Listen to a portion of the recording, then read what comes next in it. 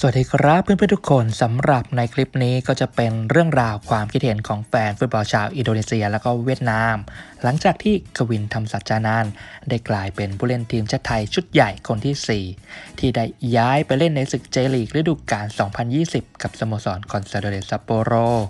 ซึ่งจริงๆ แล้วส่วนตัวผมอยากจะมาอัปเดตความคิดเห็นของแฟนบอลชาวญี่ปุ่นในเรื่องนี้ให้ได้ฟังกันตามที่มีบางท่านได้ request กันเข้ามานะครับ แต่เนื่องจากดีลนี้มันยังไม่มีการประกาศออกมากันแบบ official ในสื่อญี่ปุ่นเองก็เลยยังไม่มีคอมเมนต์เพิ่มเติมในเรื่องนี้กันมากนัก ในคลิปนี้ผมก็เลยนำคอมเมนต์ของแฟนบอลชาวอินโดนีเซียและก็เวียดนามที่มีต่อการย้ายไปเล่นกับซัปโปโรของกวินทร์มาให้ได้ฟังกันก่อน ซึ่งเนื้อหาจะเป็นอย่างไรบ้างนั้น เดี๋ยวขอเชิญทุกท่านไปรับฟังกันดูเลยครับ โดยผมจะขอเริ่มต้นกันที่คอมเมนต์ของแฟนบอลชาวอินโดนีเซียกันก่อน ที่ความคิดเห็นของพวกเขาจะไม่ได้เฉพาะเจาะจงไปที่กวินทร์ แต่จะพูดถึงผู้เล่นไทยที่ได้ไปค้าแข่งในประเทศญี่ปุ่นโดยรวม ซึ่งแฟนบอลคนแรกนั้นได้มากล่าวว่า เมื่อไรนะที่จะเป็นตาของผู้เล่นชาวอินโดนีเซียบ้างส่วนคอมเมนต์ต่อมานี่ได้มากล่าวว่า ฟุตบอลไทยกำลังพัฒนาอย่างมาก โดยเฉพาะอย่างยิ่งในระดับชุดใหญ่ ผมหวังว่าผู้เล่นในทีมชาติของเราจะถูกดึงตัวไปเล่นในลีกของชาติเอเชียตะวันออกบ้าง ส่วนชาวอินโดท่านต่อมาก็ได้มากล่าวว่า ผมคิดว่าทักษะของผู้เล่นอาเซียนมันก็เหมือนกัน ความแตกต่างมันอยู่ที่มันสมองที่ผู้เล่นไทยนั้นเล่นฟุตบอลกันอย่างชาญฉลาด พวกเขาฉลาดในการรักษาจังหวะของฟุตบอลให้อยู่ในจังหวะเวลาที่ถูกต้อง นั่นเป็นสิ่งที่ผู้เล่นชาวอินโดนีเซียนั้นไม่มี และตราบใดที่เราไม่พัฒนากันในด้านนี้ ก็อย่าคาดหวังเลยนะว่า จะมีผู้เล่นชาวอินโดนีเซียที่ถูกคว้าตัวไปเล่นกับสโมสรในญี่ปุ่น ซึ่งจากตรงนี้คอมเมนต์ต่อมาก็ได้มากล่าวเพิ่มเติมด้วยว่า ผมเองก็รู้สึกเหมือนเหมือนกันนะว่า บ่อยครั้งผู้เล่นชาวอินโดนีเซียดูสับสนยามที่ได้บอลส่วนแฟนบอลคนต่อมานี่ได้มองว่า ผมคิดว่า skill ของผู้เล่นไทยและก็ชาติอาเซียนอื่น ๆ ยังเป็นรองนักเตะอินโดนีเซียนะ แต่ว่าทางด้านของแท็กติกแล้ว อินโดนีเซียยังเป็นรองไทยอยู่ห่างไกลมาก แต่จากตรงนี้คอมเมนต์ต่อมาก็ได้มากล่าวว่า ผมรู้สึกประหลาดใจที่คุณบอกว่า skill ของผู้เล่นชาวอินโดนีเซียนั้นเหนือกว่าผู้เล่นไทย ส่วนชาวอินโดท่านต่อมานี่ก็เป็นอีกหนึ่งแฟนบอลที่ได้มาคอมเมนต์ว่า เมื่อไรที่ผู้เล่นชาวอินโดนีเซียของเราจะไปญี่ปุ่นบ้าง ในขณะที่แฟนบอลคนต่อมานี่ได้มีมุมมองต่อเหตุผลที่นักเตะไทยได้มีโอกาสไปเล่นในประเทศญี่ปุ่นกันหลายต่อหลายคนว่า นี่ มันเป็นผลมาจากการร่วมมือกันระหว่างลีกไทยและลีกญี่ปุ่น ส่วนคอมเมนต์ต่อมาก็ได้มากล่าวถึงการที่นักเตะไทยได้ไปเล่นในญี่ปุ่นอย่างต่อเนื่องว่ามันโอเคถ้าเป็นประเทศไทย เพราะว่าไทยเป็นเพื่อนของเราไม่ใช่ศัตรู ส่วนแฟนบอลท่านต่อมานี่ได้มาแสดงมุมมองถึงความแตกต่างระหว่างผู้เล่นไทยกับผู้เล่นอินโดนีเซียกับโอกาสในการได้ไปเล่นในประเทศญี่ปุ่นว่า ผมคิดว่าผู้เล่นมุสลิม อย่างชาวอินโดนีเซียและมาเลเซียอาจจะมีความยากลำบากในการปรับตัวให้เข้ากับประเทศในเอเชียตะวันออก ซึ่งหนึ่งในสาเหตุนี้มันอาจจะมาจากปัจจัยในเรื่องของอาหารและก็วัฒนธรรม ซึ่งคอมเมนต์ต่อมาก็ได้มากล่าวเพิ่มเติมในประเด็นนี้ว่า นี่มันเป็นเหตุผลที่คลาสสิกแต่มันเป็นความจริงที่ว่าผู้เล่นชาวไทยและเวียดนามจะสามารถปรับตัวเข้ากับชาติเอเชียตะวันออกได้ดีกว่าผู้เล่นชาวอินโดนีเซียและมาเลเซีย แต่จากตรงนี้คอมเมนต์ต่อมาก็ได้มากล่าวว่าบัคดิมและก็ลิลิปาลี่ก็เจอกับความยากลำบากตอนที่พวกเขาไปเล่นในประเทศญี่ปุ่น ทั้งที่พวกเขาก็ไม่ใช่มุสลิม มันจึงเป็นเรื่องของคุณภาพในการเล่นนั่นต่างหากที่มันเป็นปัญหา ซึ่งอิเลฟานบัชดิมและสเตฟานโนลิลิเพรี่คือ 2 นักเตะลูกครึ่งดีกรีทีมชาติอินโดนีเซียที่ต่างเคยไปอยู่กับสโมสรคอนซาโดเรซัปโปโรที่ประเทศญี่ปุ่น แต่ว่าไม่ประสบความสำเร็จทั้งคู่ครับ ส่วนชาวอินโดท่านต่อมานี่ก็มีมุมมองต่อการที่นักเตะไทยได้ไปเล่นในเจลีกว่า มันเป็นเรื่องปกติที่มีผู้เล่นไทยมากมายอยู่ที่ญี่ปุ่น เพราะว่าผู้บริหารไทยลีกได้มีการทำงานร่วมกับเจลีกซึ่งคอมเมนต์ต่อมาก็ได้มากล่าวเพิ่มเติมว่า ถ้าไม่นับในเรื่องของการร่วมมือกัน ผู้เล่นไทยที่ไปเล่นในเจลีกก็ต่างทำผลงานกันได้ดีให้กับสโมสรที่นั่น ไม่มีใครที่ไปไม่รอด ส่วนคอมเมนต์ต่อมานี่ก็ได้มากล่าวว่า เจลีกเนี่ยได้มีความร่วมมือกับทุกชาติในอาเซียนไม่ใช่เหรอ แต่มันมีเพียงผู้เล่นที่มีคุณภาพดีเท่านั้นที่จะสามารถเข้าแข่งขันในประเทศญี่ปุ่นได้ ซึ่งมันก็มีแค่ผู้เล่นจากไทยเท่านั้น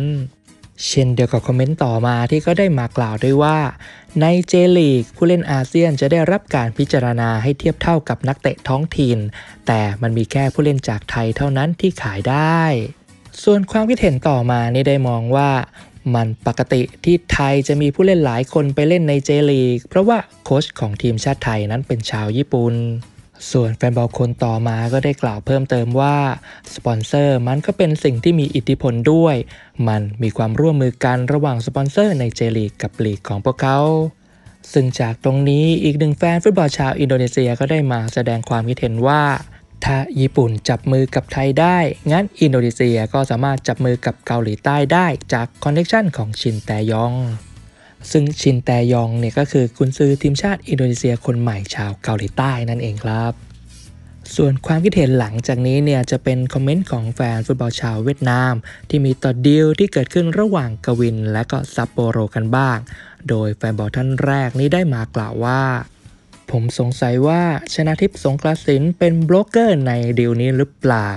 กวินเป็นอีกหนึ่งผู้เล่นไทยที่ได้ไปเล่นในญี่ปุ่น หลังจากที่โค้ชนิชิโนะเข้ามาคุมทีม มันช่างเป็นความสัมพันธ์ที่แนบแน่น ส่วนแฟนบอลคนต่อมานี่ได้มาคอมเมนต์เปรียบเทียบผู้เล่นชาวเวียดนามกับผู้เล่นไทยว่าลองมาคิดถึงผู้เล่นของเราแล้ว มันไม่มีใครเลยที่ประสบความสำเร็จจริง ๆ ส่วนชาวเวียดนามคนต่อมานี่ได้มาคอมเมนต์ถึงดีลนี้ของกวินว่า ขอแสดงความยินดีด้วยกับความสำเร็จของสัญญาทางด้านการตลาด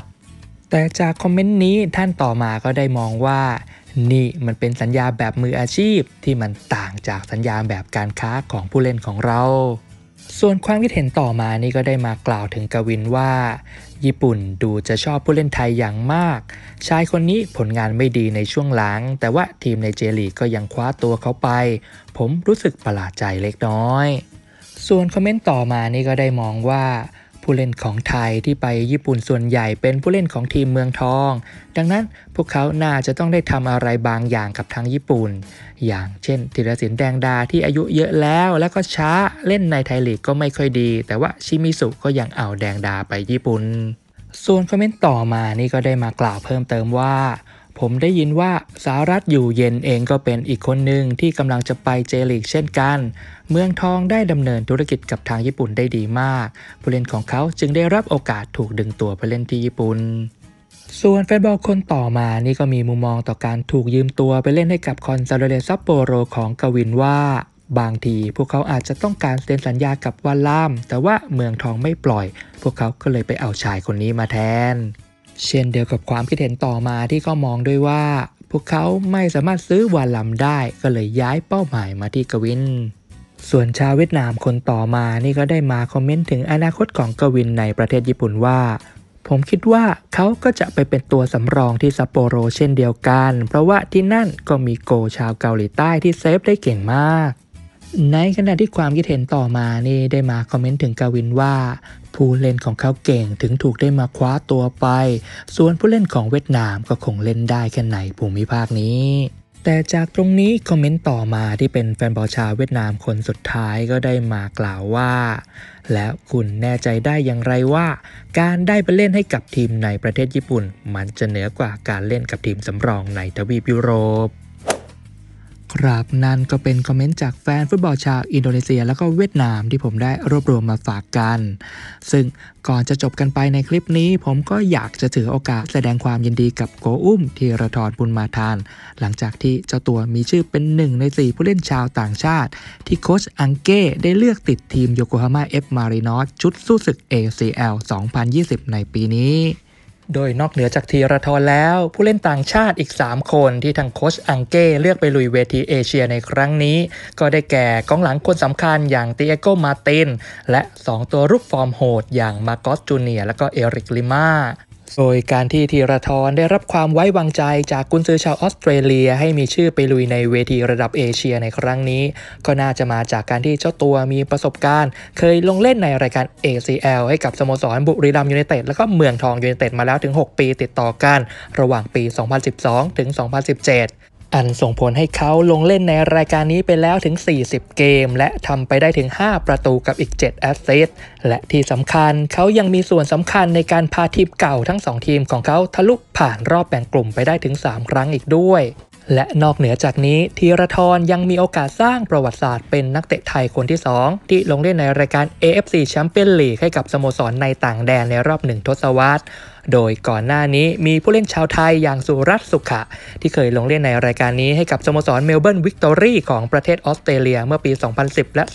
2011 โดยสุรัตน์ได้ลงเล่นในศึก ACL ในสีเสื้อของเมลเบิร์นไปถึง 10 แมตช์ แต่ว่าน่าเสียดายที่เขาไม่สามารถช่วยทีมต้นสังกัดให้ผ่านรอบแบ่งกลุ่มไปได้เลยทั้ง 2 ฤดูกาล โดยเส้นทางในรอบแบ่งกลุ่มของโยโกฮาม่าเอฟมารีนอสในศึก ACL ในปีนี้ พวกเขาจะอยู่ในกลุ่ม H ร่วมกับทีมแกร่งอย่างชนบุกมอเตอร์สซิดนีย์ FC แล้วก็เซี่ยงไฮ้ SIPG ที่เพิ่งจะเพลย์ออฟเอาชนะบุรีรัมย์ยูไนเต็ดเข้ามาได้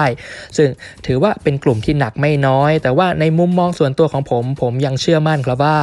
ถ้ามารินอสยังสามารถรักษาฟอร์มจากปีก่อนเอาไว้ได้ พวกเขาน่าจะสามารถเอาตัวรอดจากรอบแบ่งกลุ่มไปสู่รอบลึกๆได้อย่างแน่นอน ซึ่งเราก็คงจะต้องติดตามให้กำลังใจธีราทรและก็สโมสรโยโกฮาม่าเอฟมารินอสกันด้วยครับและสำหรับในคลิปนี้ก็คงจะต้องขอตัวลากันไปก่อนแต่เพียงเท่านี้ แล้วกลับมาพบกันได้ใหม่อีกครั้งใน episode หน้า ขอบคุณและสวัสดีครับ